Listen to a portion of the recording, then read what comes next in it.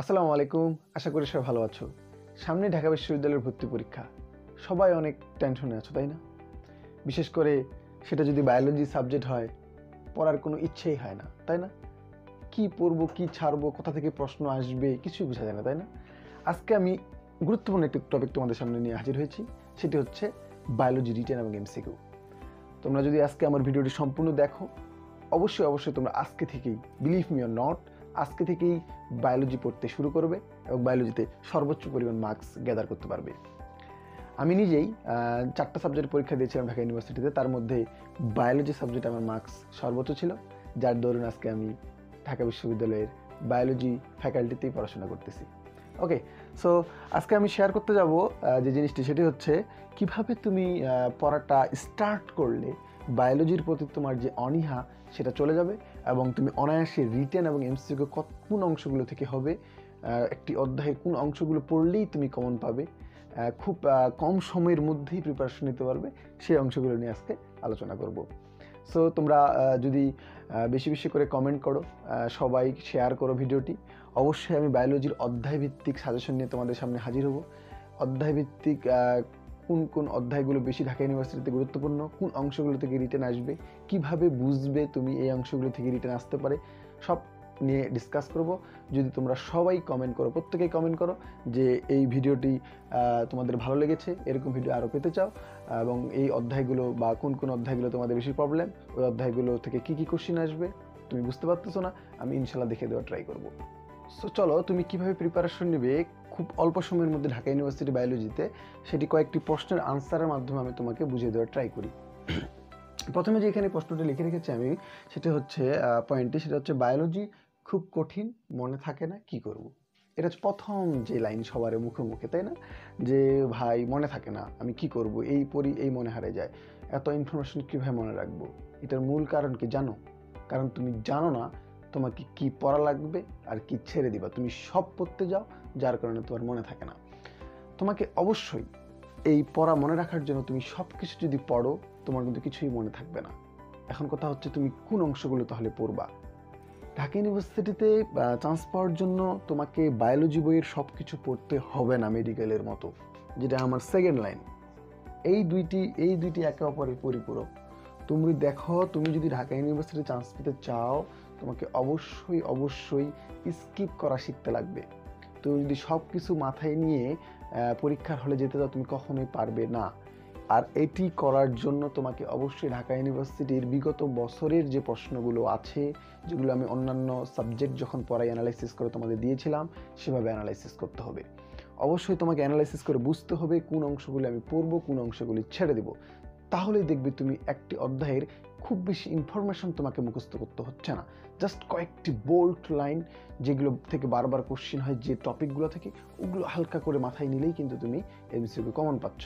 Okay so তোমাদের অবশ্যই মাথায় রাখতে হবে যে বায়োলজি সব কিছু পড়া লাগবে না। আরেকটা কথা মাথায় রাখি, এটা তুমি কীভাবে বুঝবে? যে তোমরা জানো যে বিভিন্ন ইউনিভার্সিটিতে কোশ্চিন প্যাটার্ন কিন্তু বিভিন্ন ধরনের হয়। যেমন রাজশাহীতে, রাজশাহী বিশ্ববিদ্যালয়ে এক এক ধরনের হয় জাহাঙ্গীরনগরে এক ধরনের হয় ঢাকা ইউনিভার্সিটির কিন্তু একটা নিজস্ব কোশ্চিন প্যাটার্ন আছে। যে প্যাটার্নটা মেনটেন করেই কিন্তু প্রতিবারে কোশ্চিনগুলো হচ্ছে। তুমি জাহাঙ্গীরনগরে যাও, সেখানে কিন্তু রিউনিটে যে কোশ্চিনটা হয়, সেটা অনেকটা মেডিকেল স্টাইলে হয়। বেশি তথ্যবহুল প্রশ্ন থাকে। যারা মেডিকেলে প্রিপারেশন নেয়, তারা এখানে ভালো রেজাল্ট করে। সো আর ঢাকা ইউনিভার্সিটিতে যে প্রশ্নটি হয়, সেখানে কিন্তু তথ্যবহুল একটু কম থাকে। লাইক দ্যাট আমি তথ্যবহুল বলতে কি বোঝাচ্ছি? মনে করো তোমরা মাইটোকন্টে নিয়ে পড়াশোনা করতেছো। যারা মেডিকেলের প্রিপারেশন নিবা বা জাহাঙ্গীরনগরের ডি ইউনিটে পরীক্ষা দিবা, তারা কিন্তু অবশ্যই মাইটোকন্ডিয়ার যেমন ব্যাস কত, ব্যাসার্ধ কত, দৈর্ঘ্য কত কত পার্সেন্ট কী থাকে, এগুলো অনেক কিছু, এগুলো পড়তে লাগবে কিন্তু। ছাড়া যাবে না। কারণ এগুলো থেকে কিন্তু কোশ্চিন হয় মেডিকেলে হয় বা জাহাঙ্গীরনগরে ডি ইউনিটে হয়। এরকম কিছু তথ্য। যেমন রুই মাছ কত মাসে ডিম পারে বা কোন মাসে বেশি ডিম পারে কোথায় ডিম পারে বা লাইক দ্যাট কত মিটার সেন্টিমিটার দৈর্ঘ্য হতে পারে, এই ধরনের জিনিসগুলা, যেগুলো মেডিকেল বা জাহাঙ্গীরনগর ডি ইউনিটের জন্য অ্যাপ্রোপ্রিয়েট বা কৃষি বিশ্ববিদ্যালয়ের জন্য। কিন্তু ঢাকা ইউনিভার্সিটিতে এই সব তথ্যবহুল, এই ধরনের প্রশ্নগুলোকে ইগনোর করে, তারা কি করে? মেইন মেইন যে ফোকাস লাইনগুলো ওই লাইনগুলো থেকে কিন্তু প্রশ্ন করে থাকে। সো তোমরা অবশ্যই অবশ্যই কোশ্চেনগুলো অ্যানালাইসিস করে দেখবে আসলে কোথা থেকে প্রশ্নগুলো হচ্ছে। এটা আসলে আমি দেখিয়ে দিতাম। তোমরা বলতে পারতো যে, ভাই আপনি দেখাই দিচ্ছেন না কেন? আসলে আমি দেখাই দিতে পারতাম বাট এটা তো তোমরা যদি নিজেরাই করো, তোমাদের আসলে বেশি হেল্পফুল হবে, তোমাদের প্রিপারেশনটা আরও বেশি জড়ালো হবে। বাট তোমরা যদি চাও, তোমরা যদি বেশি বেশি বেশি কমেন্ট করো। অবশ্যই আমি অধ্যায়ভিত্তিক দেখে দেওয়া ট্রাই করব যে এগুলো লাগবে না, এগুলো ছেড়ে দাও। এই বাকি যে অংশগুলো আছে সেগুলো তুমি করো ইনশাল্লাহ তুমি কমেন্ট পাবে। ওকে সো তোমরা এই দুইটি অপশন নিশ্চয়ই বুঝেছ যে ঢাকা ইউনিভার্সিটির জন্য বায়োলজি সব কিছু পড়তে লাগে না, এটা মাথায় ঢুকিয়ে নাও। মেডিকেলের মতো, আর বায়োলজি খুব কঠিন মনে হচ্ছে, কারণ তুমি সব কিছু পড়তেছো সব কিছু পড়লে তো কঠিন মনে হবেই, তাই না? আর তৃতীয় যে লাইনটি আমি বলেছি, তৃতীয় যে অপশনটি আমি বলেছি, সেটা হচ্ছে তুমি আসলে এখন তো আমি বললাম যে সব কিছু পড়া লাগে না। তোমার মনে এখন প্রশ্ন জাগতেই পারে, তাহলে আমি ভাই পড়ব কোনগুলো আসলে? এই যে তুমি দেখো, আমি এখানে কয়েকটি জিনিস লিখে রেখেছি, সেটা হচ্ছে মোস্ট ইম্পর্ট্যান্ট লাইন তুমি প্রত্যেকটা জিনিসে দেখবা মোস্ট কিছু ইম্পর্ট্যান্ট লাইন থাকে। যেমন মাইটোকন্ডিয়া থেকে বিগত বছরে ঢাকা ইউনিভার্সিটিতে দুইটি প্রশ্ন এসেছে, দুই হাজার এক থেকে শুরু করে দুই হাজার একবার উনিশ পর্যন্ত। প্রশ্ন দুটি হচ্ছে, একটা প্রশ্ন এসেছিল যে মাইটোকন্ডিয়া যে ভাসটি থাকে প্রাচীরের যে ভাসটি প্রাচীর ভাসটিকে কি বলা হয়? ওকে, আরেকটি প্রশ্ন এসেছিল মাইটোকন্ডিয়ার যে শক্তি পাওয়ার হাউস বলা হয় পাওয়ার মাইটোকন্ডিয়াকে এটা প্রশ্ন এসেছিল। তো দেখো জেনারেল কিন্তু প্রশ্নগুলা, যেগুলো তোমার বোল্ট লাইন যেগুলা চোখে পড়বে, ওই জিনিসগুলো তুমি পড়বা। ভিতরে আর কিছু আজে বাজে জিনিস থাকে, এগুলো কিন্তু পড়ার কোনো দরকার নেই ঢাকা ইউনিভার্সিটির জন্য ওকে আচ্ছা দ্বিতীয় জিনিসটা হচ্ছে সাইন্টিফিক নেম আচ্ছা মূল কথা হচ্ছে ঢাকা ইউনিভার্সিটিতে পরীক্ষা দিতে যাওয়া এমসিকিউ হোক রিটেন হোক সাইন্টিফিক নেম আসবে না, এটা আসলে কল্পনা করা যায় না। তুমি প্রতিবারে ঢাকা ইউনিভার্সিটি পরীক্ষাগুলো দেখো সাইন্টিফিক ন্যাম থাকবেই ডিরেক্টলি ইনডিরেক্টলি যেভাবে হোক, কোনো না কোনো অপশনে সাইন্টিফিক ন্যাম থাকবেই। সো সাইন্টিফিক খুবই ইম্পর্টেন্ট ঢাকা ইউনিভার্সিটির জন্য। এবং ইংলিশ টার্মস কিছু ইংলিশ টার্মস ইউজ করা হয় বায়োলজি বই তোমরা দেখবে বিভিন্ন অধ্যায়গুলো। এই ইংলিশ টার্মগুলো কিন্তু খুবই খুবই খুবই গুরুত্বপূর্ণ। তুমি ঢাকা ইউনিভার্সিটির বায়োলজি কোশ্চেনটা দেখবা দেখলে বুঝতে পারবা ইংলিশ টার্ম তারা বেশি ইউজ করে বা ইংলিশ টার্ম যুক্ত এমসিগুলো কিন্তু বেশি করে থাকে। সো আমি বললাম সাইন্টিফিক ন্যামগুলো বেশি গুরুত্বপূর্ণ। এখন তোমাকে কী করতে হবে? তোমাকে দেখতে হবে। তুমি যখন ধরো যে বোটানি পড়তেছো, তোমাকে দেখতে হবে যে বোটানি বইয়ের কোন কোন অধ্যায়গুলোতে সাইন্টিফিক ন্যাম আছে। যেমন আমি তোমাকে একটা ধরিয়ে দেওয়া ট্রাই করি। তোমরা পার্থেনিওজেনেসিস এর অংশটি দেখেছ? ওইখানে কিন্তু বিশেষ কিছু সাইন্টিফিক ন্যাম আছে। তুমি ওই জায়গাটি পড়ে নাও এবং তুমি দেখো, নবম দশম, ওইখানে দেখো, উদ্ভিদ প্রজনন ধরনের অধ্যায়টি গিয়ে দেখো, ওখান থেকে ঢাকা ইউনিভার্সিটির যে প্রশ্ন এসেছে, ওই পার্থেনোজেনেসিস যে টাইপটা ওখানে যে কয়েকটি বৈজ্ঞানিক নেম রয়েছে, ওখান থেকে কিন্তু বেশি রয়েছে। ওকে তারপর তুমি অমরা বিন্যাসের ওখানে যাও। অমরা বিন্যাসের ওখানে গিয়ে দেখো যে তুমি বিভিন্ন ধরনের যে অমরা বিন্যাস দেওয়া আছে, ওখানে যে সাইন্টিফিক নামগুলো আছে, ওখান থেকে কিন্তু ঢাকা ইউনিভার্সিটি সবচেয়ে বেশি প্রশ্ন করে থাকে। প্রতিবার একটা প্রশ্ন আসে এখান থেকে। বিগত বছরের প্রশ্নগুলো দেখো তুমি। এবং তুমি দেখো যে বিভিন্ন রোগ, ভাইরাস, ব্যাকটেরিয়া, যে বিভিন্ন রোগগুলো ছড়ায়, ওখানেও কিছু সাইন্টিফিক নেম আছে, ওখানে কিন্তু, ওখান থেকে কিন্তু ঢাকা ইউনিভার্সিটি প্রশ্ন করে থাকে। এছাড়া ছত্রাক শৈবাল, ওখানে কিছু রোগ ক্রিয়েট করে যে ছত্রাক বা শৈবালগুলো, ওখানে কিছু সাইন্টিফিক নেম আছে, ওই জায়গাগুলো ফোকাস করো। সো তোমাদের বুঝতে হবে সাইন্টিফিক নেম থেকে প্রশ্ন হচ্ছে সাইন্টিফিক নেমগুলো কোথায় আছে, আমি ওই জায়গাগুলো ভালো করে পড়ব এবং ওই জায়গাগুলো থেকে কিন্তু প্রশ্ন হবে। তুমি দেখো জুওলজির ক্ষেত্রে প্রতিবারেই বর্গ, গোত্র সাইন্টিফিক ন্যাম বিভিন্ন এই প্রশ্নগুলো কিন্তু এসেছে প্রতিবারে এমসিকিউতে এবং দেখো, আমরা যারা উনিশ বিশ্লেষণী পরীক্ষা দিয়েছি, এই রিটেন কিন্তু ওই সাইন্টিফিক ন্যাম থেকে এসেছে। শুধু রিটেন না এমসিকিউতে কিন্তু আসতেছে। তোমরা দেখো, তাহলে সাইন্টিফিক নাম কত গুরুত্বপূর্ণ? মানুষের শ্রেণি বিভাগ চেয়েছে, মানুষ যে পর্বটি, ওই পর্বটি শ্রেণি বিভাগ চেয়েছে অ্যাজ ওয়েল অ্যাজ কিন্তু আবার সাইন্টিফিক নামও চেয়েছে। তার রিটার্ন দুইটি কিন্তু সাইন্টিফিক নামের উপর বেস করে কিন্তু এসেছে। ওকে সো দেখো এই পার্টটাকে তারা কত গুরুত্ব দেয় ওকে সো তোমাদের এই গুরুত্বপূর্ণ জিনিসগুলো আইডেন্টিফাই করতে পারলে কিন্তু তুমি অনায়াসে তোমার যে প্রিপারেশনটা কিন্তু ন্যারো হয়ে যাবে। এবার আসি লাস্ট যে টপিকটি কোশ্চেন অ্যানালাইসিস যেটা আমি আগেই বলে রেখেছি যে কোশ্চেন অ্যানালাইসিস করতে হবে। দেন তুমি নিজেই বুঝতে পারবা এই তিনটে টপিক যে আসলে হয় কিনা ঢাকা ইউনিভার্সিটির জন্য, এই তিনটে টপিকই কিন্তু আসবে ওকে আর আরেকটি যেটি কনফিউশন তোমাদের ফালাই দিবে, বিগত বছরের প্রশ্নগুলো তুমি যখন অ্যানালাইসিস করতে যাবা, কিছু কনফিউশন যুক্ত কোশ্চেন থাকে, যেগুলো তোমাদের মাথা খারাপ করে দেয় আসলে। যেমন ওগুলোর নাম দিয়েছে, আমি কিলার এমসিকিউ ওই ধরনের কিলার এমসিকিউগুলো আসলে কি করে? তোমার পরীক্ষার হলে সময় কি কিল করবে? তোমাকে হেজিটেশনে ফেলাই দিবে। তুমি মনে হবা যে এই এমসিকিউগুলো অন্যজন পারবে, আমি পারলাম না, আমার চান্স হবে না। এই, এগুলোকে আমার নাম দিয়েছে কিলার এমসিকিউ তুমি দেখো, এর আগের সেশনে যে পরীক্ষা হয়েছিল সতেরো, আঠারো সেশনে আঠারো উনিশ সেশনে মেবি ওইখানে দুইটা এমসিকিউ এসেছিল যে গিনিপিকের দাঁত কয়টি? স্যালামান্ডার কোন পর্বের প্রাণী? লাইক দ্যাট এরকম টাইপের সো এরকম এমসিকিউ কিন্তু আসলে কেউই পারেনি। সো এগুলো এমসিকিউ আসলে কিলার এমসিকিউ যেগুলো তোমার সময়টাকে কিল করবে। এগুলো নিয়ে মাথা ঘামানোর কোনো দরকার নেই। এরকম দুই তিনটি এমসিকিউ ঢাকা ইউনিভার্সিটিতে থাকে, যেটা কেউই পারে না আসলে। সো তোমরা বিশেষ বিশেষ কিছু অঞ্চল থাকে ঢাকা ইউনিভার্সিটি যেগুলো প্রশ্ন, যেখান থেকে প্রতিবারে প্রশ্ন হয়, ওগুলো পড়ো কনফিডেন্ট হয়ে পরীক্ষা দিতে ঢুকো। ইনশাল্লাহ তুমি যেগুলো পারবা, সবাই ওগুলোই পারবে। যেটা একটু ব্যতিক্রম হবে, সেটা কেউই পারবে না ওকে সো ওই দুই একটা এমসিকিউর জন্য তোমার প্রিপারেশনটাকে ভাস্ট করার কোনো কোনো দরকার নেই। তুমি বেশি কিছু পড়লেই যে বেশি কমন পাবা, তার কিন্তু কোনো মানে নেই। সো তোমাদের অবশ্যই কোশ্চেন প্যাটার্ন কিন্তু বুঝতে হবে। সো আমি মনে করি ঢাকা ইউনিভার্সিটির যে মূল প্রিপারেশনটা সেটা হচ্ছে ঢাকা ইউনিভার্সিটির কোশ্চিন ব্যাংক অ্যানালাইসিস করে ঢাকা ইউনিভার্সিটির যে কোশ্চিন প্যাটার্নটা সেটা খুঁজে বের করা। একজন স্টুডেন্ট যদি সেটা একবার খুঁজে বের করতে পারবে, সে কিন্তু অনায়াসে সব কিছু ইগনোর করতে পারবে যে এই অংশগুলো আমার লাগবে, এই অংশ লাগবে না, এটুক পড়লে আমি কমন পাবো। ওকে সে কিন্তু সব কিছু তখন আর পড়বে না। সো অবশ্যই আমরা কোশ্চেন অ্যানালাইসিস করব।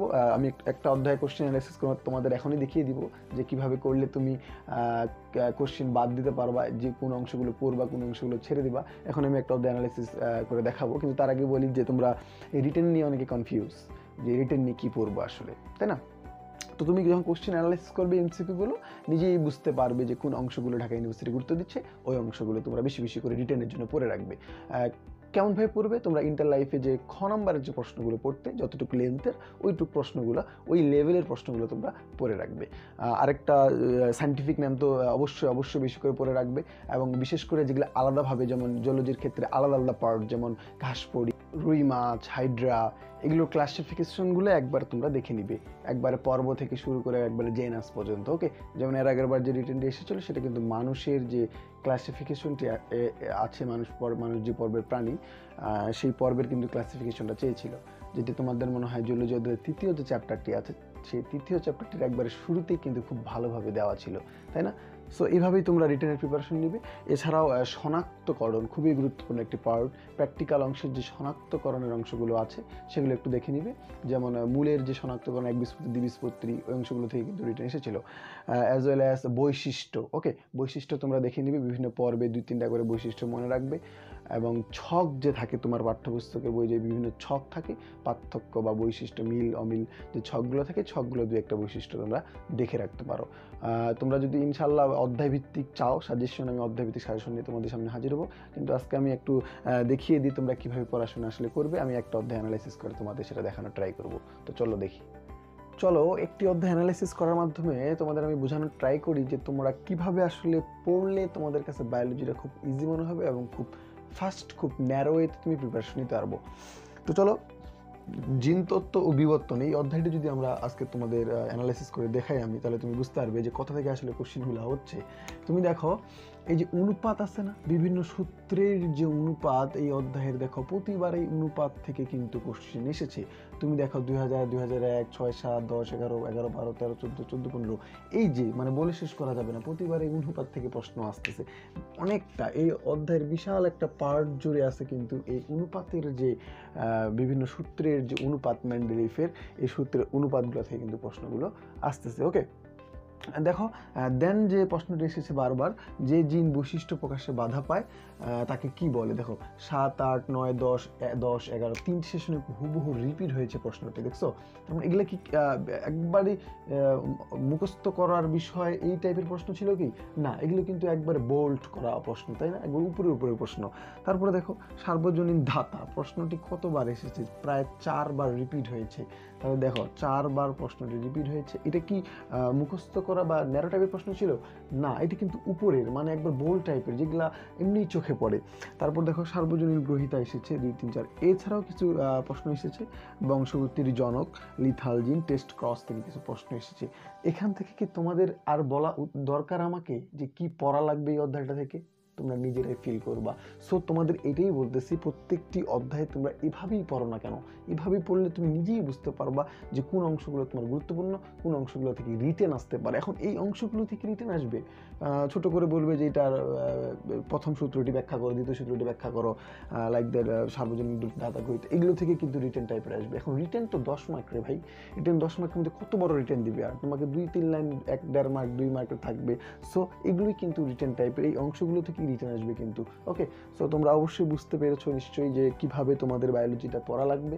তাও যদি তোমাদের প্রবলেম হয়, আমি তোমাদের যদি প্রত্যেকেরই সারা পাই, প্রত্যেকেরই যদি কমেন্ট পাই, ভালো একটু অ্যাটেন্ড পাই তোদের অবশ্যই তা আমি দেখানোর ট্রাই করব অধ্যায় ভিত্তিকভাবে প্রত্যেকটি অধ্যায় দেখিয়ে দেওয়ার ট্রাই করব অ্যাজ ওয়েল অ্যাজ কিছু রিটেন সেট আপ করার ট্রাই করব এবং কোন অংশগুলো তোমাদের বাদ দিতে হবে, সেগুলো দেখিয়ে দেবো। সেটা ডিপেন্ড করবে টোটালি তোমাদের উপর। তোমরা যদি আমাদের আমার সাথে থাকো, বেশি বেশি করে শেয়ার করো ফ্রেন্ডদের সাথে শেয়ার করো, বিভিন্ন গ্রুপে শেয়ার করো আমাকে ইন্সপায়ার করো প্রতিদিন তোমাদের কমেন্টের মাধ্যমে, আমি কিন্তু অবশ্যই তোমাদের জন্য ভালো কিছু জিনিস আনার ট্রাই করব এবং সামনে আর এক দেড় মাসের মতো সময় আছে, অবশ্যই এই কয়েকদিন তোমাদের আমি সাথে থেকে তোমাদের একটু ভালো গাইডলাইন দেবো। ভালো প্রিপারেশন তোমরা যেন নিতে পারো। একটু দীর্ঘমেয়াদী আমাদের তোমাদের নিয়ে আমার একটি ইয়ে আছে প্রোগ্রাম আছে। তোমাদের বায়োলজি কেমিস্ট্রি ফিজিক্স ম্যাথ এই প্রত্যেকটি অধ্যায় ভিত্তিক আমি মনে হয় দিয়ে দেওয়া শুরু করেছি। তোমরা দেখেছ যে অধ্যায় ভিত্তিক ঢাকা ইউনিভার্সিটির প্রশ্ন ব্যাংক সমাধান। তোমরা আগের ভিডিওগুলো দেখতে পারব। ইনশাল্লাহ ঢাকা ইউনিভার্সিটি একটা ফুলফিল একটা গাইডলাইন তুমি আমার কাছ থেকে পেতে পারো। সো আজকে এই পর্যন্তই। আল্লাহ হাফেজ। সবাই ভালো থাকবে এবং অবশ্যই অবশ্যই সবার যে ইচ্ছা, প্রাচ্যের অক্সফোর্ড খ্যাত ঢাকা বিশ্ববিদ্যালয়ে পড়ার, সে স্বপ্নটি পূর্ণ হবে।